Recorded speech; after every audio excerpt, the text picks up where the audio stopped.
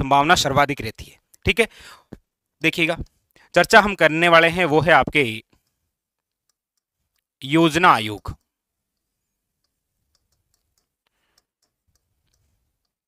योजना आयोग। देखिएगा, ये जो योजना आयोग है, इस योजना आयोग की स्थापना कब हुई?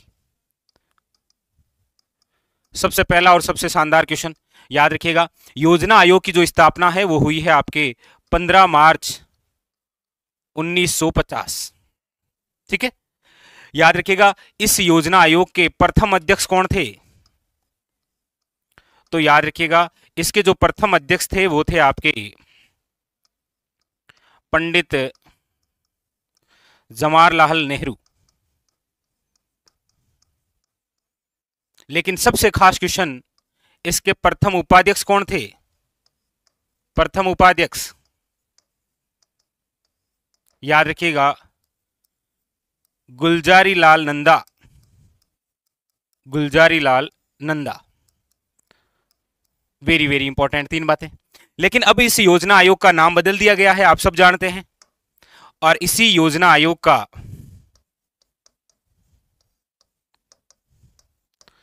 नाम बदलकर क्या कर दिया गया है?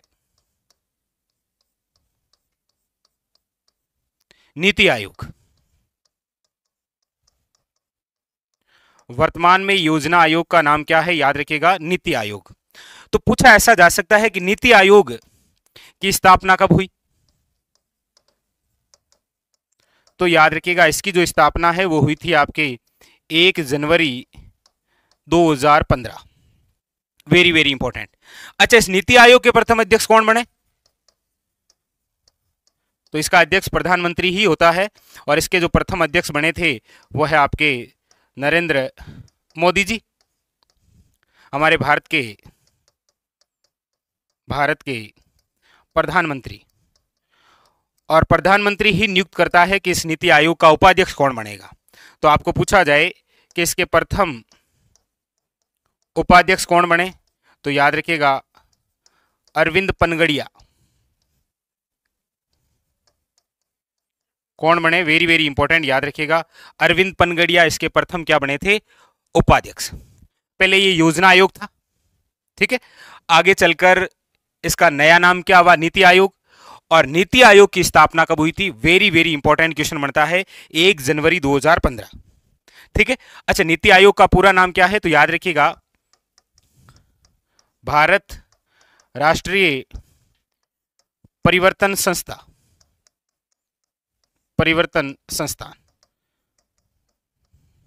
याद रखिएगा वेरी वेरी इंपॉर्टेंट ठीक है? डायरेक्ट यहाँ से भी कई बार वन लाइनर क्वेश्चन बन सकता है। ठीक है?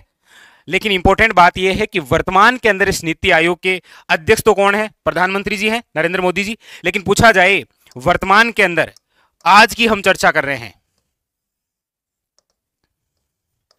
वर्तमान में उपाध्यक्ष कौन है? अच्छा क्वेश्चन बन सकता है। तो आपको याद रखना है कि नीति आयोग के वर्तमान में जो उपाध्यक्ष हैं, वो है आपके सुमन के बेरी डॉक्टर सुमन के बेरी और सबसे इंपॉर्टेंट खास क्वेश्चन वर्तमान में इसके सीईओ कौन है? सीईओ तो आपको याद रखना है बीवीआर सुब्रमण्यम।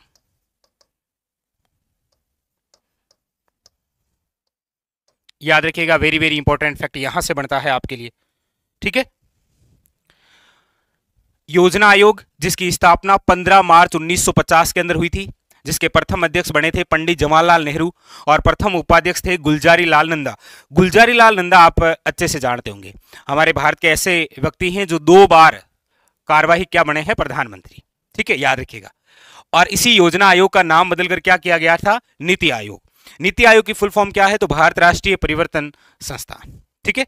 इसकी स्थापना कब हुई नीति आयोग की? तो एक जनवरी 2015 इसके प्रथम अध्यक्ष कौन? नरेंद्र मोदी। आज भी यही है, क्योंकि नीति आयोग का अध्यक्ष हमेशा भारत का प्रधानमंत्री ही होता है। ठीक है? और प्रधानमंत्री ही नियुक्त करता है कि उपाध्यक्ष कौन बनेगा। तो नीति आयोग के प्रथम उपाध्यक्ष बने थे अरविंद पनगड़िया। लेकिन वर्तमान के अंदर इसके जो उपाध्यक्ष हैं, वो है आपके डॉक्टर सुमन के बेरी और सीओ याद रखिएगा बीवीआर सुब्रमण्यम।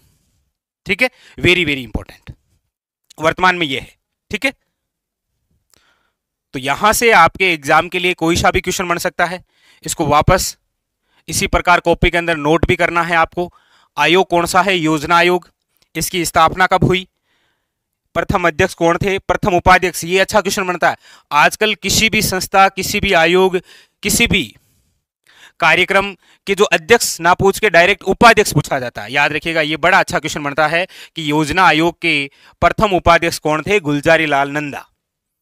नीति आयोग के प्रथम उपाध्यक्ष कौन थे? अरविंद पनगड़िया। वर्तमान में इसके उपाध्यक्ष कौन है? सुमन के बेरी ये तीन तो सबसे अच्छे क्वेश्चन है। लेकिन मैं आपको बता दूँ कि एग्जामिनर नीति आयोग की फुल फॉर्म भी पूछ रखी है। ये भी आप थोड़ा सा ध्यान रखिएगा। ठीक है? तो नीति आयोग भी अपने आप में बहुत ज़्यादा इंपॉर्टेंट है, याद रखिएगा। ठीक है? तो योजना आयोग की स्थापना, प्रथम अध्यक्ष, उपाध्यक्ष, इसका नाम बदलकर नीति आयोग। तो इसकी स्थापना कब हुई? इसके प्रथम अध्यक्ष कौन थे? प्रथम उपाध्यक्ष कौन थे? वर्तमान में इसके उपाध्यक्ष कौन है? और वर्तमान में सीओ कौन है? ये भी आपको याद रखना। अब वर्तमान के अंदर सीओ ये है। ठीक है? बताइए, ये सारा योजना आयोग और नीति आयोग से संबंधित जो भी फैक्ट है, वो सारे क्लियर हो गए? क्योंकि एग्जामिनर यहाँ से क्वेश्चन बना सकता है आपके लिए। ठीक है? चलिए। अब फटाफट एक बार थम्स अप कर दीजिए, सब ओके है? क्लियर है? आगे बढ़ू मैं?